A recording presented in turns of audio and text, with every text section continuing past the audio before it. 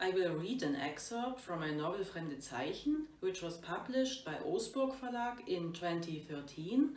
The passage is set in the early 60s in the GDR, and the narrator is a young woman named Margaret.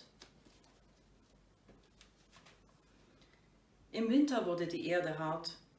Morgens gegen drei Uhr tappte ich benommen hinüber zum Kuhstall, stieß die schlafenden Kühe mit einem Stock gegen ihr Hinterteil und rief sie bei ihren Namen.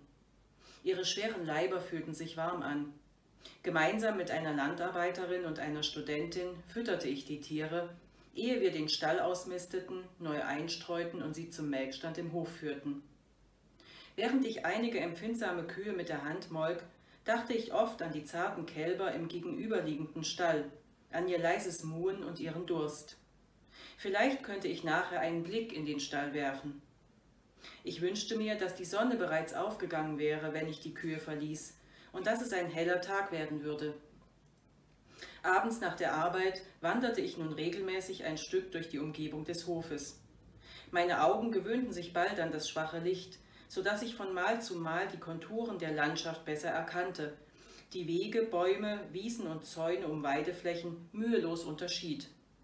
Eingehüllt in Mantel und wollenen Schal verbündete ich mich mit der Winterluft, den schlafenden Pflanzen und Tieren, an manchen Tagen mit dem leuchtenden Schnee gegen die Dunkelheit. Eines Abends erblickte ich am Rand einer Weidefläche die Silhouette eines Menschen, der dort in leicht gebeugter Haltung verharrte, die Hände auf dem Rücken verschränkt. Als ich näher kam, drehte er sich zu mir um. Die Luft, sagte er zur Begrüßung, ist hier am Abend wie bei mir zu Hause. Ich kannte das Gesicht des jungen Mannes, er arbeitete ebenfalls auf dem Hof. Ich fragte ihn, wo er herkomme, und er nannte mir ein Dorf, das in der Nähe des Internats liegt.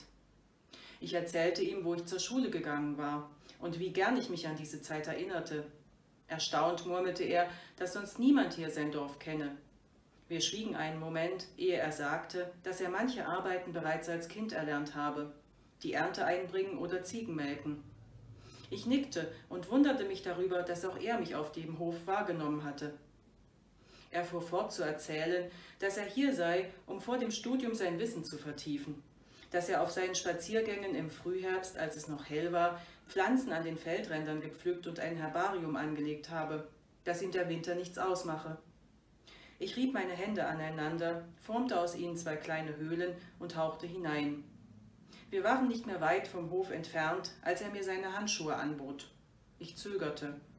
Dann glitten meine Hände in die vorgewärmte Wolle.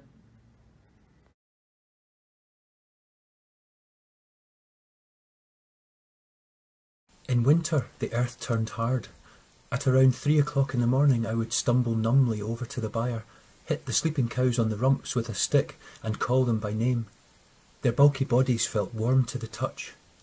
Along with a farm girl and one trainee, I fed the beasts before we mucked out the byre, scattered fresh straw, and drove the cows to the milking parlour in the yard. As I hand milked some sensitive cows, I would think of the sweet calves in the opposite stall their soft lowing, and their thirst. Perhaps I could have a look in their stall afterwards. I would wish for the sun to be up when I left them, and that it would be a bright day. After work, I was now in the habit of taking an evening stroll through the surrounding area. My eyes quickly grew accustomed to the faint light, so that each time I recognised the contours of the land better, easily discerned the paths, trees, meadows, and fences. Shrouded in my coat and woollen scarf, I was at one with the winter air, the dormant plants, the sleeping animals, on some days with the snow luminous against the dark.